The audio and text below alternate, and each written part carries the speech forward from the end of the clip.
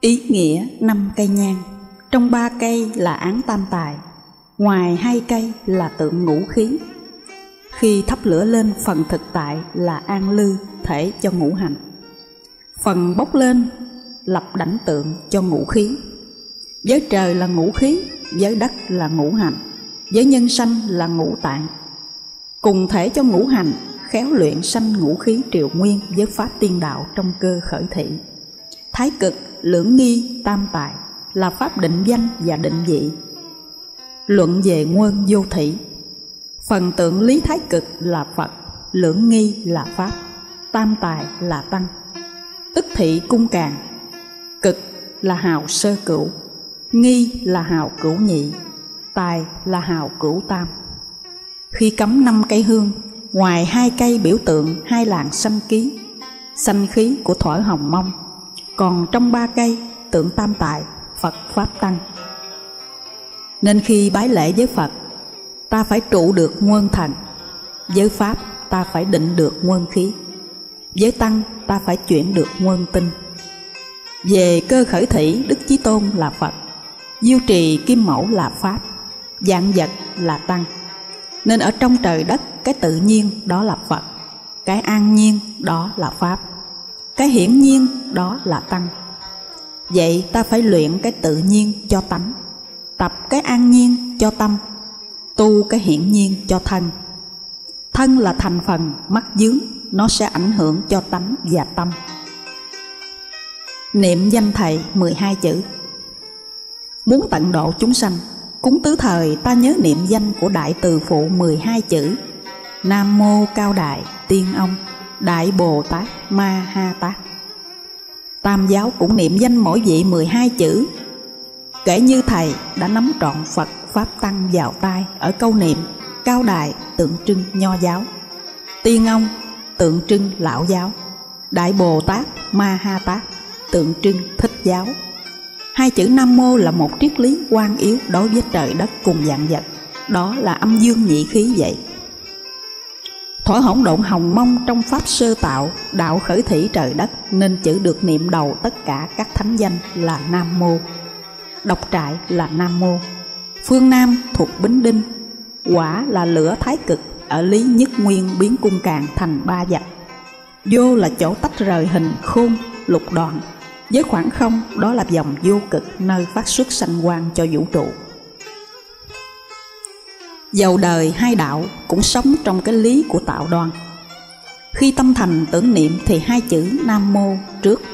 Do vậy, cái bản tính của con người Việt Nam với tinh thần sùng thượng không quên cái nguyên lý chỗ cơ khởi Thủy để tưởng niệm cái thiên liêng nhất là ba ngày của đầu năm trong dịp Tết Nguyên Đán Tổ tiên ta còn giữ lập tục đều dán trước cổng nhà bốn chữ thật to gọi là Tam Dương Khai Thới chứng tỏ nòi giống ta còn nhớ tới nguyên lý tạo đoan, về ba hào dương cung càng. Với sự hiếu kính đó, nên đức chí tôn đem ánh linh quang khai cơ tận độ, để giáo đạo nam phương trong buổi tam kỳ trên giải đất rồng tiên được mai duyên gọi nhuận ân huệ của thượng đế. Nước việt từ đức quốc tổ truyền, kế trên danh tự 18 đời hùng dương. Cộng cũng chính, đó là con số khai cơ định vị của trời đất lẽ tất nhiên đạo trời là cơ khởi thủy, đầu là thượng nguyên để nhất chuyển. Hãy có khởi thủy thì phải có chung kết trong giai đoạn. Nay là hạ nguyên tam chuyển, hậu mãn nguyên thứ chín. Thì trời khai đạo tại nước Việt Nam, tức là pháp định vị cho một chu kỳ, có cả không gian lẫn thời gian. Vì nòi giống chúng ta, còn mang nặng cái truyền thống của tổ tiên về nguyên lý, đạo của trời đất.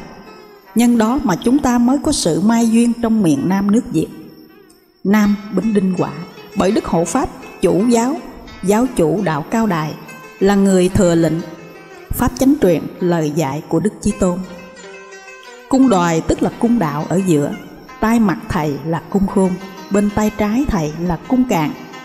Nên Đức Hộ Pháp lật bát quái hậu thiên trở lại thành bát quái trung thiên đưa cung càng về phía Tây Nam, tức là đài tại Nam Phương đạo thống truyền ba cung càng khảm cấn đổi vị trí khôn ly tốn nền minh triết của nòi giống rồng tiên phát khởi do nguyên lý của đạo pháp về hai chữ rồng tiên tiên ở núi, rồng ở bể, thể hiện lý âm dương của trời đất.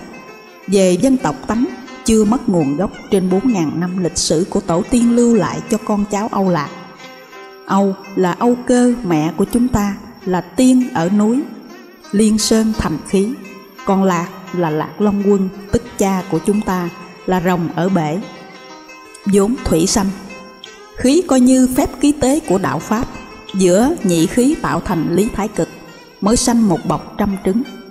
Nhờ đó mà biến ra nguyên chủng rồng tiên, chẳng khác nào buổi khai thiên lập địa trăm ức nguyên nhân giáng trần trong cơ khởi thị.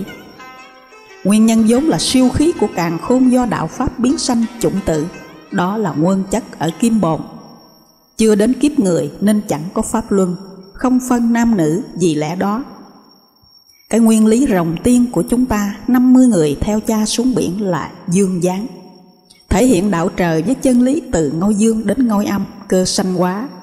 Còn 50 người theo mẹ lên núi là âm phụ coi như từ ngôi âm trở về ngôi dương của lý trưởng dưỡng. Trong số đó chẳng có nói nam hay nữ đều ám chỉ lý âm dương giữa cha và mẹ mà thôi với con số ngũ của trời đất ở khung hồng phạm mới biến dịch cơ tạo đoan càng khôn và dạng vật sấm truyền minh tả. Tòa thánh tây ninh, đạo cao đài đã thể hình bạch ngọc kinh tại thế để thờ đức thượng đế, tức là chúa trời mà sấm truyền kitô giáo đã minh tả bên trong có 24 vị trưởng lão đó là thập nhị thời quân và thập nhị bảo quân dòng thành có 12 cửa. Tuy hiện tại không có cửa số 5 nhưng cổng chánh môn hiệp vào cũng đủ con số 12 vì năm là con số ngũ trung, tức là tâm của dòng tròn. Nhưng ngôi đền thánh, thể hình con linh vật dưới nách có nhiều trồng. đó là số thiên nhãn giáp dòng, ngôi đền với hình long mã. Mà cao đài đã tượng thể tòa bạch ngọc kinh với chân pháp. Khi vô chầu lễ từ phẩm nhân thần đổ xuống vào hai bên lỗ tai nam tả nữ hữu với bổn phận, để nghe và nhắc nhở cho nhau chưa đủ quyền lập đàn thuyết đạo. Còn từ phẩm thiên thần đổ lên vào ngay cửa giữa, tức là miệng, dầu nam hay nữ với điều kiện có sứ mạng thuyết đàn giáo hóa. Mỗi vị thiên thần là một cái loa của hội thánh để truyền đạt lời của chúa trời. Theo triết lý phật, phẩm đi vào lỗ tai chia ra có ba hạng. Tín đồ hàng thinh văn chức việc phụ hàng duyên giác. Bằng trị sự hàng la hán còn vào cửa miệng thể hiện sự giáo hóa, lễ sanh hàng bồ tát sơ tâm. Giáo hữu hàng bồ tát thâm hạnh, còn giáo sư đến đầu sư là hàng đại bồ tát với sứ mạng đội mạo bát quái. Nhưng khi quán đàn số ít chánh trị sự với giáo nhi được lệnh đi, nối tiếp phẩm thiên thần ở pháp dục tấn ngôi tòa thánh vòng quanh nách, đền có 23 khuôn thiên nhãn đắp hai mặt nằm trong khung hình tam giác, tức là 46 trước hiệp thiên đài một, trên cung đạo một, nơi quả càng khôn một, với thánh tượng thờ bên trong thông thiên đài một. Tức 50 thiên nhãn, tượng lý số ngũ cung. Của khung hồng phạm ngũ hành bao quanh cửu trụ, mà ngôi đền, đạo trời đã thể hiện tòa thánh hình long mã. Ngôi đền có tứ hướng, tượng cho ngũ hình là long mã ngũ hình sinh tứ tướng là long lân quy phụng. Đã thể hiện, chúng ta nhìn hai lầu chuông trống là cặp gạt rồng. Chỗ đức di lạc ngự là ngũ lân ngũ lân đá cẩn nền giáp dòng, thể hình là quy, tầng ô ngói, mái. Đền phơi bài như chim xòe cánh là phụng. Cái dụng của ngôi đền là hình lông mã nằm.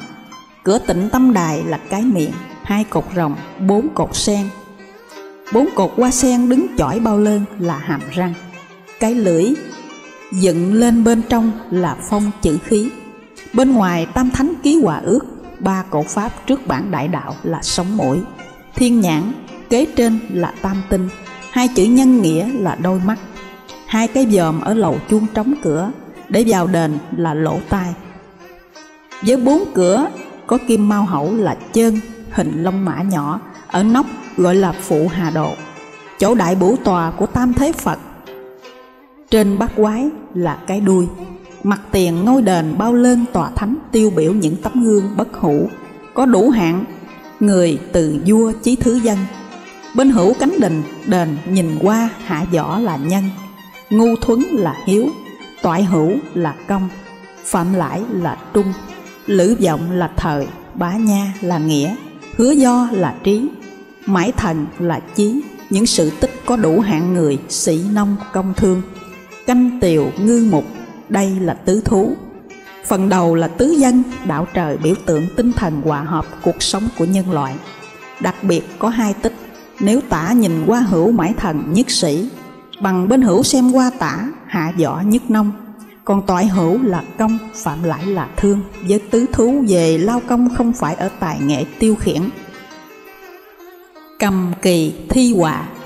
Canh là ngu thuấn, tiều là tử kỳ, ngư là lữ giọng, mục là sào phủ sự lành dữ ở con người do lỗ miệng nên cửa đền bên tả thể hình ông thiện, bên hữu thể hình ông ác.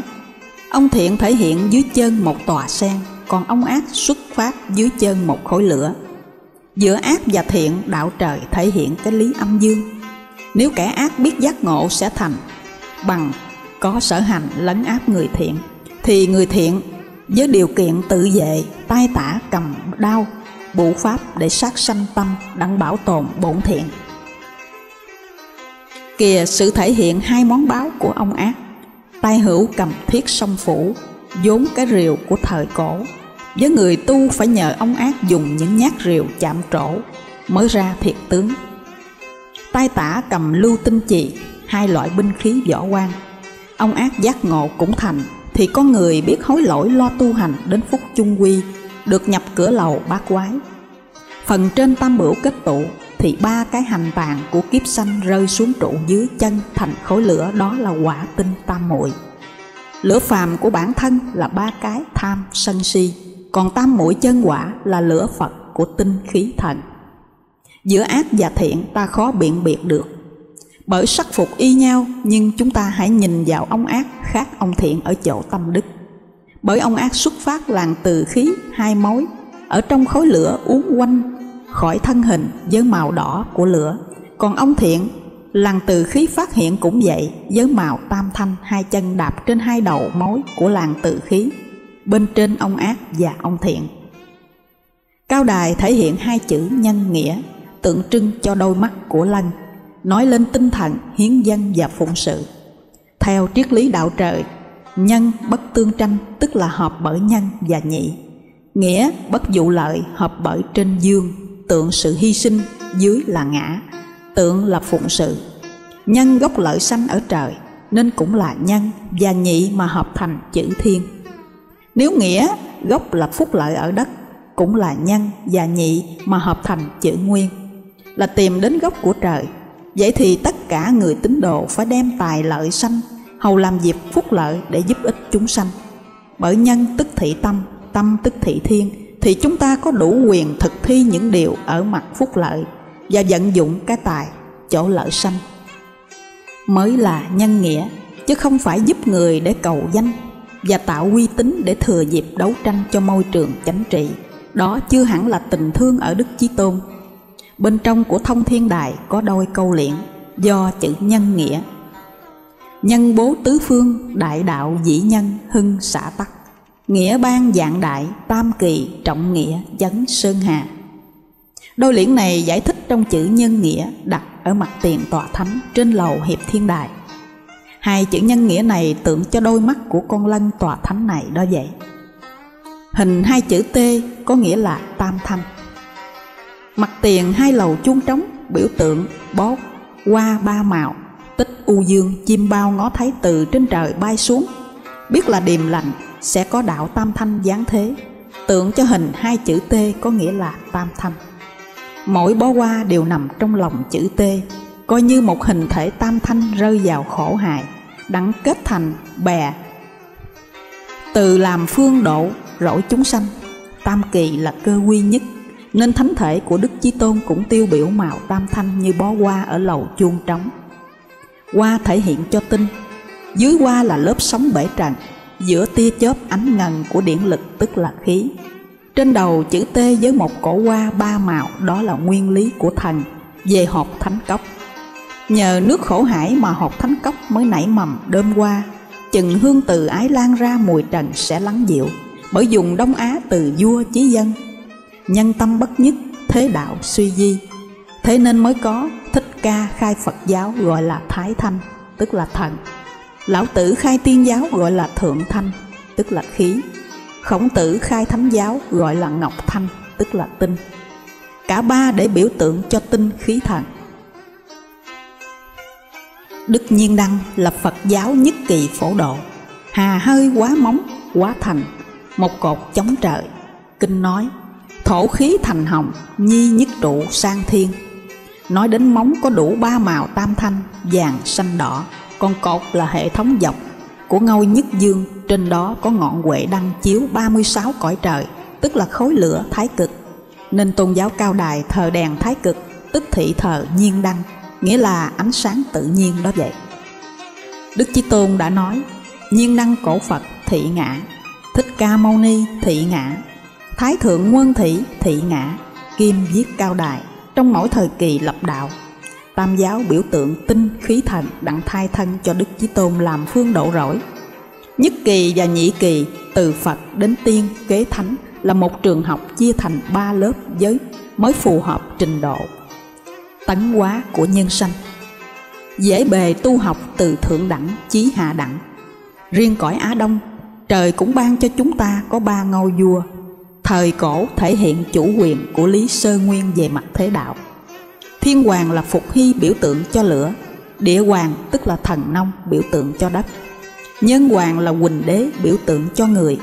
Tam hoàng thể hiện cho đầu mối phẩm tối linh về tinh khí thần của con người với lý tam tài của cơ khởi thị để khai nguyên định hội và tạo thế. Phục hy là mầm móng phát huy cơ khởi thị đồ vật nhờ đạt pháp ngũ hành thần nông tìm ra lẽ sống nếm thuốc và dạy dân trồng ngũ cốc.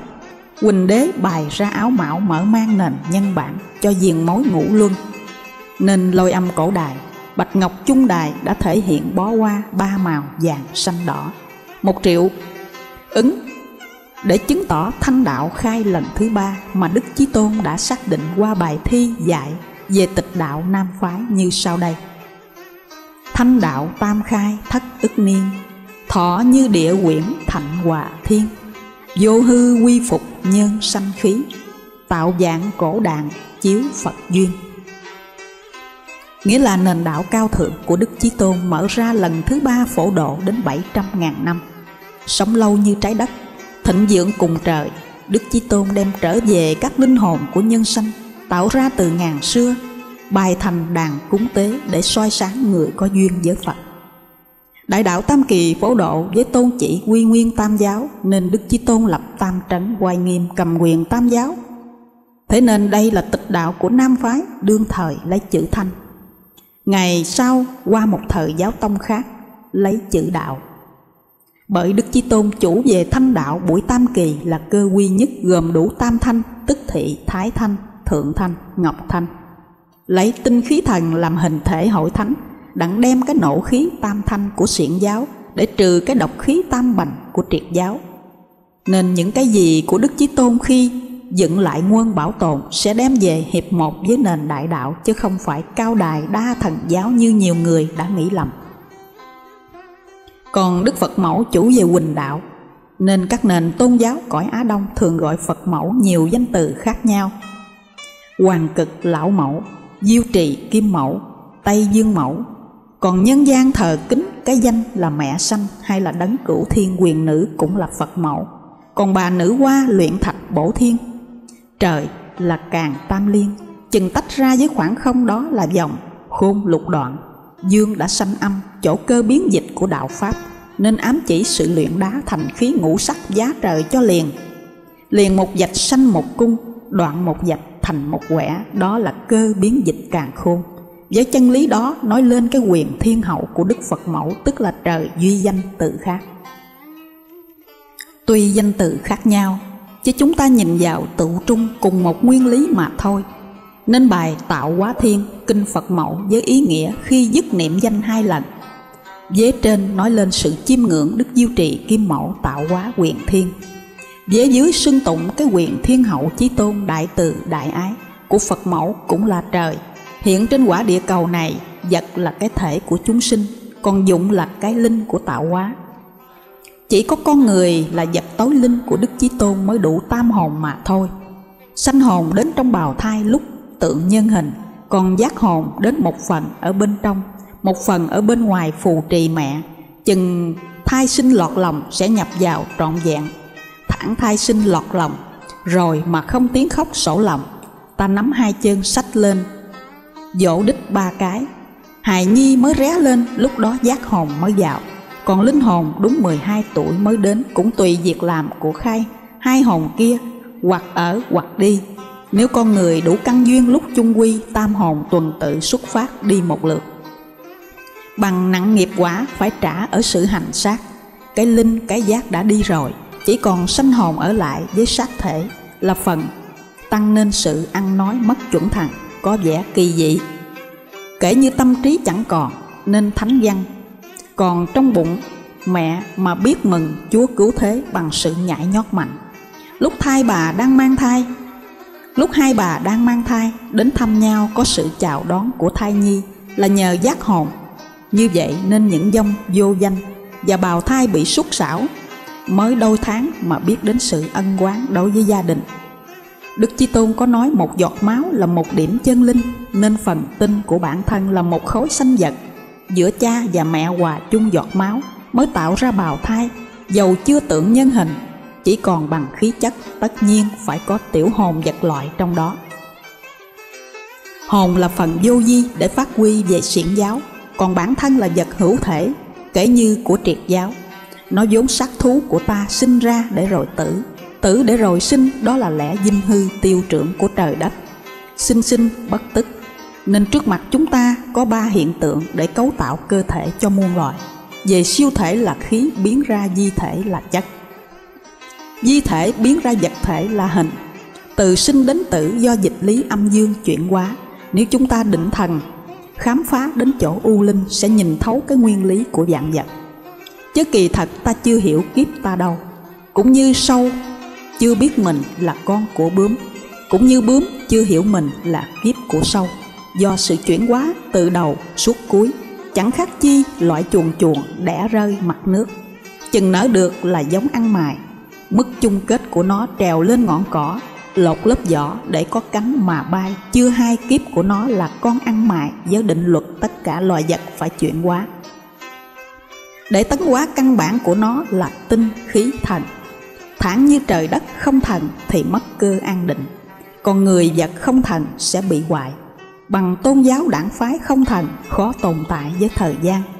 Dĩ như một đóa hoa phải có ba thời kỳ, nở phô sắc đó là tinh. Nếp khánh, dình hương đó là khí. Đưa nhụy kết trái đó là thành.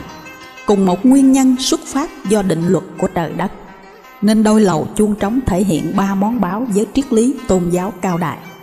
Dưới thì võ hoa lam của phật quan âm dành cho đệ tử buổi tam kỳ là bà nữ đầu sư lâm hương thanh. Bổ bối này tượng phần tinh của vũ trụ. Bầu linh gậy sắt của lý thiết quả trong buổi này là anh cả đức quyền giáo tông, thượng trung Nhật. bầu linh thuộc quả gậy sắt thuộc thủy. Đó là tam bửu, hoa là tinh, thủy là khí, quả là thần. Đạo trời thể hiện tinh khí thần trong ngôi tiếng nổ và ngôi tiếng giang. Còn đôi cửa bên hông khoảng giữa cửu trùng đại, bên tả ngôi đền tượng thể hai con kim mau hậu cái ở bên nam phái. Còn cửa phía bên nữ thì hai con kim mau hậu đực. Với lý đạo âm, trong âm có dương, nhưng bốn cửa có tám con kim mau hậu đều ở lý âm dương. Riêng biệt của mỗi cửa hãy trụ búp sen phía tả thì mau hậu gác chân hữu ở trên đó. Còn ở bên hữu thì gác chân tả, cả tám con đều như vậy. Chỉ có một trụ búp sen, bên hông bắt quái, mé phái nữ, trụ bên tả thấp hơn trụ bên hữu. Tám phân cũng là nguyên nhân của đạo Pháp. Còn hai cửa bên hông bắt quái đều bốn con đực hết. Cửa chẳng có ngõ vào bên trong coi như cửa của thiên thành xuống thế. Có chín cấp, mỗi cấp hai tấc rưỡi cũng là bảy. Bảy lần chín là sáu mươi ba, cũng chính ở pháp định vị. Lúc đức hộ pháp còn tại tiền đã dạy thể hiện bí pháp này trong mỗi kỳ đàn. Đức Ngài cho một phần lễ sanh nam nữ được lên. Trên, bên trong tầng hành lang, lầu đặng chầu lễ. Khi mãn đàn không được trở lại hiệp thiên đại như hiện nay và cho vị quyền ngọc chánh phối sư ra lệnh bế môn. Chẳng cơ truyền giáo, nên thiên thần phải trở về trời, đó là việc xảy ra từ thời ngô triệu đàn áp đạo. Chết trước kia đức hộ pháp chủ quyền đạo nên hội thánh nhất luật thi hành lễ sông bãi đàn. Phẩm lễ sanh, tuần tự lại đường thang khu ốc phía sau bắc quái đài xuống. Nam bên tả, nữ bên hữu, chừng ra đến sân xem như thiên thần xuống trần gian công giáo nhờ thiên thần gần hai ngàn năm đạo thánh diễn bệnh. nay trời mở tam kỳ lễ sanh giới phẩm, là thiên thần mà đức chí tôn đã định vị ở lý âm dương có nam lẫn nữ để dìu dẫn chúng sanh lo lập công. Phải đi trong con đường cứu phẩm thần tiên mới về được cùng đức chí tôn phật mẫu. Dầu thập nhị đẳng cấp thiên liêng, lúc chung quy cũng phải vượt cửu thiên khai hóa còn Kim Mao Hậu ở cõi thiên giữ cửa Bạch Ngọc Kinh đó là con linh vật chực rước những người hoàn bách ba món nợ sẽ trở vào triều kiến Đức Chí Tôn. Nếu chúng ta trả xong, chưa xong thì nó cho và chẳng cho vào. Nợ thứ nhất ta là phẩm tối linh biết đem thân để phụng sự cho vạn linh sẽ trả được món nợ về điểm linh của Đức Thượng Đế. Nợ thứ hai trong kiếp sanh ta dùng những vật hữu sanh của đấng háo sanh nếu khéo tu hành, luyện nó chuyển thành đệ nhị pháp thân mới trả được món nợ chân thành cho Đức Phật mẫu. Nợ thứ ba chúng ta có bản thân, phải có nhân duyên, đó là thập nhị công nghệ, mối liên hệ giữa cuộc sống tức là cái ơn của xã hội. Nếu trong ba mà không trọn, coi như đắc tội cùng dạng linh với chí linh. Buổi tam kỳ gọi đó là thập nhị nhân duyên mà kiếp người đã thỏa ân với 12 nghề, sĩ nông, công thương, ngư tiệu, canh mục, nho, y, lý bốc còn triết lý, bên phật dạy từ vô minh đến bệnh tử, gọi là thập nhị nhân duyên, vốn cái nghiệp của bản thân. Với giáo lý cao đài, ai có bản thân phải có nhân duyên cùng thập nhị công nghệ. Đó là cái ơn của xã hội đã cung ứng vào cuộc sống cá nhân ta, tức là dạng thù quy nhất bổn. Thì người tu phải nặng ơn xã hội trên đường hành giả trọn tâm đức cầu rỗi cho cả chúng sanh thoát ly khổ hải coi như nhất bổn tán dạng thù còn trên nóc bắc quái đài có tượng hình tam thế phật tiêu biểu cho tam hồn của đức chí tôn, nên phật có ba màu, vàng, xanh, đỏ, với sự thể hiện chúng ta thấy rõ ở bên trên đền thờ đức chí tôn. Linh hồn màu vàng, giác hồn màu xanh, sanh hồn màu đỏ đã chứng tỏ ở con người cũng thế, thượng đế cũng là chúng ta nhưng chúng ta cũng là thượng đế. Với con người ở thế sanh hồn của bản thân, giác hồn của trí thức, linh hồn của tâm thần tam hồn của chí tôn thường tại trong chúng sanh nên gọi là cái danh. Là tam thế chí tôn, ba vị phật rishna Phật màu xanh chánh bắc. Phật Shiva, màu đỏ, chánh nam. Phật Brahma, màu vàng, chánh tây. Xoay theo chiều trưởng giải, màu vàng của thần sáng tạo tức là hòa bình màu xanh của thần quỷ diệt, tức là quá sinh. Màu đỏ của thần phá hoại. Ngược lại thần bảo tồn, nhất thế chí tôn là phật. Nhị thế chí tôn là pháp. Tam thế chí tôn là tăng. Theo chiều trưởng giải ngôi tăng có pháp, còn cơ thu liễm ngôi pháp có tăng. Nên dạng vật tùng phép thu liễm dí như cây, cỏ, bỏ dòi, quấn ngọn, cũng theo chiều thuận với định luật. Phật rama cởi con thiên nga dài chánh tay đó là vị thần sáng tạo mở đường đưa sanh chúng về cung đoại, tức là cung đạo. Chỗ trụ nguyên thần tai hữu bắt ấn khai nguyên một ngón chỉ thiên, biểu tượng lý thái cực. Hai ngón, cũng đầu với hình châu kỳ thể hiện vô cực tương hòa, có nghĩa là thái cực nhi vô cực. Tay tả nắm bửu châu đưa trước ngực, tức thị ấn pháp trấn linh thể càng khôn, cũng là trấn điểm linh ở bản thân của nhân loại đó là vị hiện thân của Đức Chí Tôn. Phật Krishna, Minh Trần, giai chánh bắc, chân đạp lên đầu rắn dữ, tức là thần quỷ diệt dục tình không phải giết mệnh. Ngược lại thần quá sinh tiên Phật, nên những tư tưởng quấy ở con người dấy lên sẽ bị ngự trị phần ai nộ ố dục của nhân sanh để giữ còn cái nguyên linh ở thượng đế. Phật Krishna cũng đứng trên thất đầu xà như hộ pháp để trừ bốn cái nọc độc trong bản thân nhân loại. Nhìn vào thực tại đấng đó cũng là hiện thân của hộ pháp, nhưng thổi ống tiêu để thức tỉnh quần linh. Dai miệng ống đưa sinh khí vào cung chấn chánh đông tức là cung pháp nơi tụ nguyên thần. Ống tiêu có bãi lỗ tượng cho tổ khiếu thất tình. Nếu con người khéo tu nó sinh thất bửu cũng thể hiện cho thất khiếu sinh quan nhưng đắc pháp rồi thần khí phục hồi mở được cửu khiếu nhờ kết tụ tam diệu sẽ chiếu ngần ánh xá lợi nên thích lão định danh là Mâu Ni Bửu Châu hoặc là Thử Mễ Quyền Châu hay Cửu Khúc Minh Châu. Phật Shiva da đỏ minh trần đứng vai chánh nam, tay tả chống nạnh thể hình tam giác ở lý tam tài thiên địa nhân. Tay hữu chống gươm với phép định địa, chân phải đạp trên đầu giao long để trừ cái dữ phô bài nơi mặt thế làm khổ chúng sanh. Dầu mọi vật thể đúng chu kỳ với định luật bị đào thải trở lại vật chất, lẽ tất nhiên phần đó phải có sanh hồn như thế, thần phá hoại, tức là thần bảo tồn là vậy thần Siva có bộ nhũ hoa là hiện thân của Phật mẫu, nhưng Phật mẫu chính Đức Nguyên Thị với dạng Quỳnh Kỳ với hạnh Quỳnh Kỳ Buổi hạ nguyên trời mở tam kỳ, Phật mẫu lãnh lệnh nơi Đức Chí Tôn lập hội bàn đào tại thế với bí pháp đầy ân huệ, kêu cả con cái của mẹ hướng về lẽ hằng sống. Để đoạt cơ giải thoát. Là hội yến diêu trì cung, chỗ thể hiện tinh khí thành hiệp nhất. Nên cúng phẩm hội yến chỉ có ba, hoa là thể tinh, rượu là thể khí, trà là thể thần phật Krishna là tiền nhân của Giêsu Christ là hộ pháp. Căn cứ lời thi của đức lý, nhị kiếp tây âu cầm mái tạo, đó là chúa Giêsu còn ở kiếp thứ ba, ở câu hữu duyên Đông Á nắm thiên thơ, đó là Đức Hộ Pháp. Giáo chủ đạo Cao Đài buổi tam kỳ hai chân đứng trọn trên thất đầu xà và ngự ngay chữ khí. Nên phép lạ của Chúa cứu thế lần đầu tiên làm cho nước, thành rượu ở chân Pháp, đó cũng là khí thì cái nguyên lý đồng nhất ở Chúa cứu thế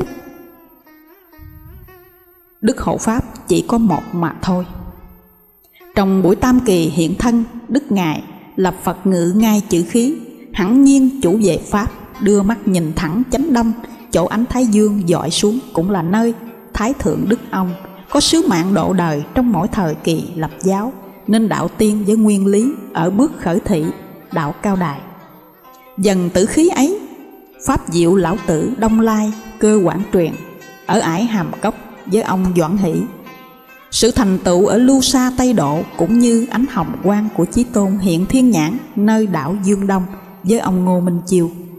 Cơ quản truyền tại phố Hàng Dừa với cao thượng phẩm, sự thành tựu ở thánh địa Tây Ninh. Tại sao ông Ngô Minh Chiêu không nhìn nhận cơ quản truyền của Đức Chí Tôn? Dầu rằng môn đệ đầu tiên được thấy thiên nhãn kể là người có đại công, nhưng ông không lãnh chức giáo tông của đại đạo để phổ thông nền chánh giáo tận độ quần linh với lý do đó nên Đức Lý mới kiêm phẩm giáo tông của đại đạo vào ngày 29 tháng 10 năm Bính Dần. Vì tại tòa Thánh Tây Ninh thiếu ngôi anh cả của nhân sanh ở mặt hữu hình. Thành thử cửu trùng đài không chỗ trụ đức tinh, nên sao Đức Chí Tôn cùng Đức Lý giáng cơ tại cung đạo dạy tấn phong đầu sư Thượng Trung Nhật là quyền giáo tông, đặng điều đình nền chánh giáo lo cơ phổ hóa chúng sanh. Kỳ ba đạo xuất ư đông, nên nóc nghinh phong đài tọa thánh tượng hình long mã đứng trên quả địa cầu dai chánh tay. Nhưng ngoái đầu qua đông ở lý châu nhi phục thị của cơ tuần hoàng đến buổi hạ nguyên biểu tượng cho nền chân đạo xuất ư đông. Do sự hồi quang của trời đất mà nguyên khí ký tế cùng nguyên thần. Mỗi lần phản chiếu thần lại xuất ư đông tức là đạo nhưng đạo khai do cung pháp của trời đất là chánh đông rồi mới truyền sang tây vì trái đất xây từ Tây qua Đông với chân lý đạo vốn đi ngược, nhân sanh biết tùng giáo sẽ được trở về nguồn, bằng thả xuôi sẽ lùi ra bể cả. Nên con người khi tỉnh ngộ muốn tầm đạo để đoạt đạo phải đi ngược, khác hơn thế tình. Mà đạo trời đã tượng thể với hình thái tử sĩ đạt ta, phế cả ngai dạng vượt hoàng cung đi tầm đạo. Vừa cởi ngựa vừa che tay nhìn ngai chánh, tay hướng đòi tức là đạo với chân lý đó có nghĩa là muốn cầu đạo phải đi ngược mới trở về nguồn. Cũng như lão tử từ phương Đông đi về cửa ải hàm cốc là vậy. Khi chúng ta bước vào đền thánh ngẩng nhìn lên ngạch cửa tịnh tâm đài, chánh giữa dần mây có một bàn tay phải nắm cán cân, tức thị của đấng tạo hóa. Tiêu biểu với chúng sanh mọi sự thực hành là công bình, còn đòn cân nằm trên quả đất, tất nhiên nó tròn. Tiêu biểu sự bác ái đối cùng dạng loại, kế trên con ngôi bắt đầu thể hình ở trời là chủ tể.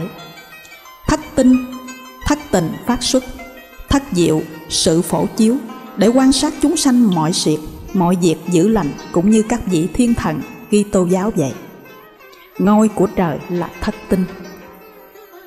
Ngôi ở người có thất tình nó biến sinh thiện và ác nên đạo trời tưởng thể để trước mắt nhân sanh một cây cân lớn của tạo hóa kể như nhất toán quả phước lập phân.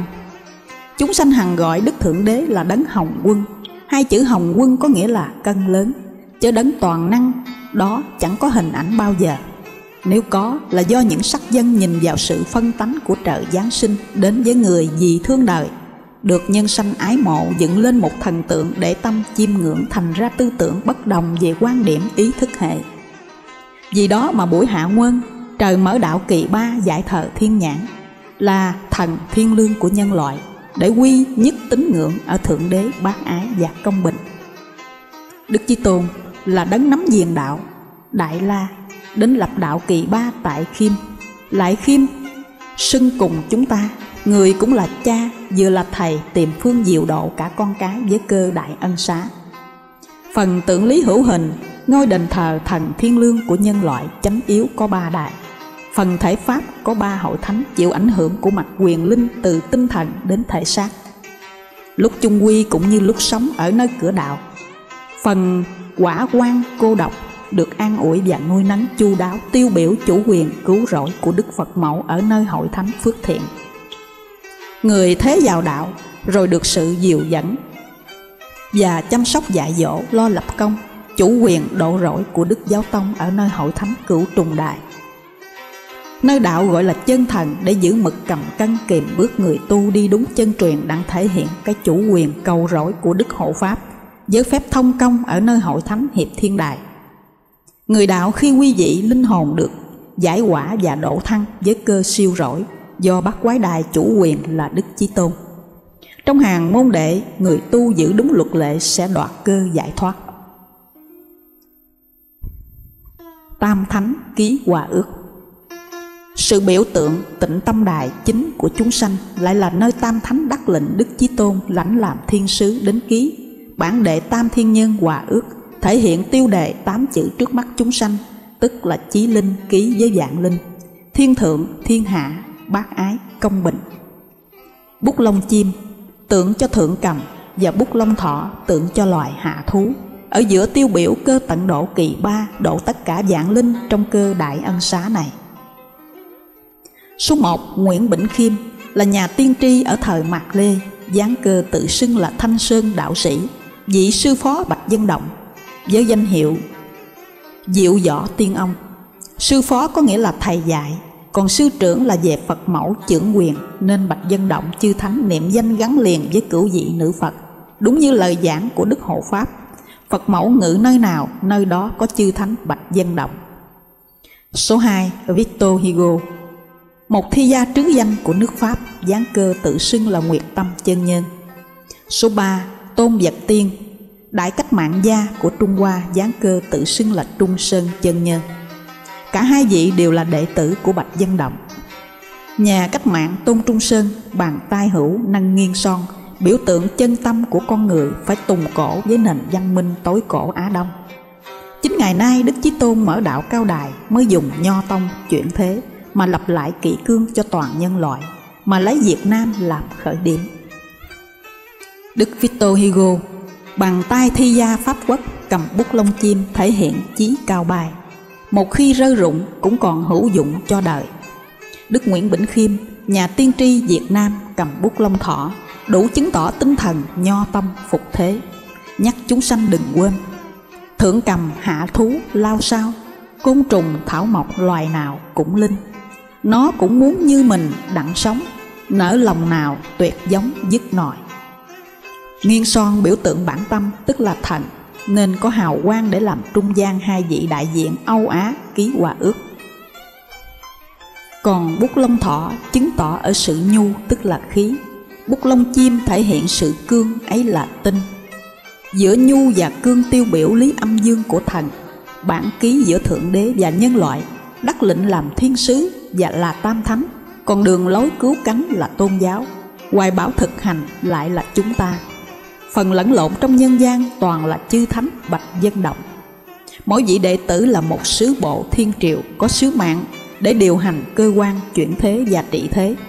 Dầu cho các động phủ thần tiên đến cầm quyền tôn giáo hay lãnh đạo quốc gia, phải tùng cơ chuyển pháp của ngọc hư cung đặng tạo thế và cứu thế cho đúng với thiên cơ mỗi kỳ hòa ước. Nói đến thiên cơ phải có sức người mới thành thiên. Cơ hôm nay, để tam hòa ước cũng vậy luận đến đệ tam hòa ước, tức thì đã có hai kỳ hòa ước rồi.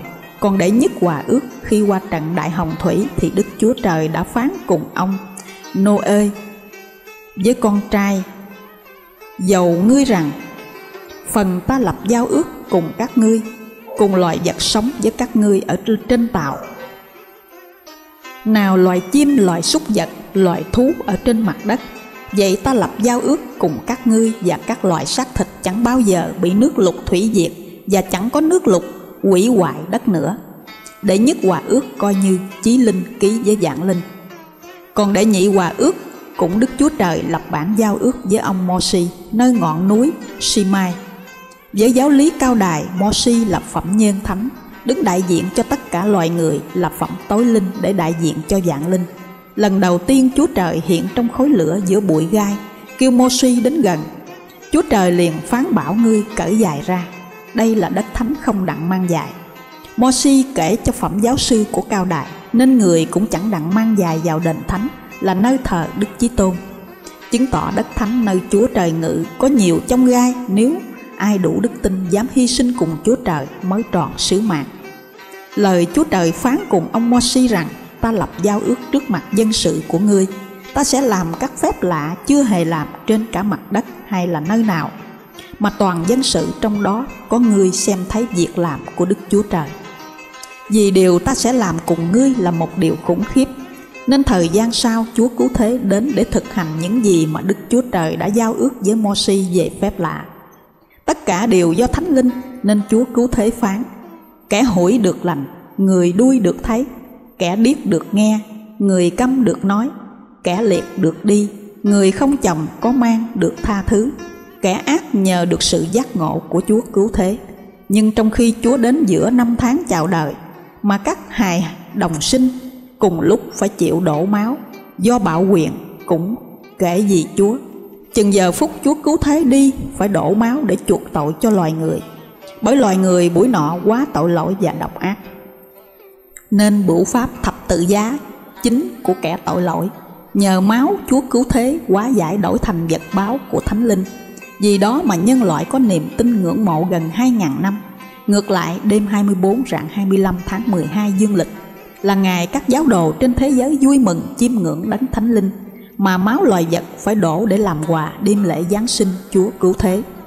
Với tình thương đó, nếu có được sự gợi nhớ đến máu của các hài đồng thì chắc lệ lòng chúng ta sẽ chảy cũng như máu Chúa đã chảy để tô điểm thêm bản quà ước của nhân loại. Nhưng hiện tại buổi nọ Chúa đã tiên tri rằng trong hai ngàn năm sẽ tận thế, Chúa giáng lâm như kẻ trộm Vậy buổi tam kỳ tôn giáo cao đài có những phép gì giống Chúa để chứng minh cùng nhân loại? Đạo Thánh Kitô giáo có ba ngôi ở sự lấy dấu ngôi cha, ngôi con, ngôi thánh thần. Cao đài giáo có ba ngôi Phật Pháp Tăng với bốn chân Pháp tấm thánh, giải quan, hôn phối, độ thăng. Cũng như Chúa có bốn phép bắp tên, phép giao, xưng tội và cầu hồn. Kitô giáo Chúa có 12 thánh tông độ Cao Đài giáo Đức Hộ Pháp có 12 vị thời quân. Kitô giáo kính trọng thần lương tâm tiêu biểu với duy nhất của con người bằng quả tim được thể hiện ở trước ngực Chúa cứu thế. Với Cao Đài giáo, sự biểu tượng thờ thần lương tâm là thiên nhãn, bởi nhãn thị chủ tâm về thập tự giá của Chúa. Với Cao Đài là Pháp tứ tượng nằm nội tâm ngôi đền thờ Đức Thượng Đế. Từ ngũ lôi đài đến cung đạo là hệ dọc hai cửa hông. Ngay cấp Địa thánh là hệ ngang, thanh hình, pháp tứ tượng. Nhất âm nhất dương dùng làm nơi hành lễ cho chức sắc và tín đồ, cũng như ngôi báo ân từ đã thể hiện hình thập tự giá nằm. với hai cây đòn dông gắt tréo ló ra hai bên hông với trước là ba đầu để đỡ lầu chuông theo cao đài là pháp tứ tượng. Còn bức bổ ảnh của đức hộ pháp đạo chụp lúc đức ngài nhắm đôi mắt đứng văng tay ban phép lành, tức thị thực hành pháp tứ tượng nhất âm nhất dương chi dị đạo, cũng tượng hình thập tự giá của chúa cứu thế.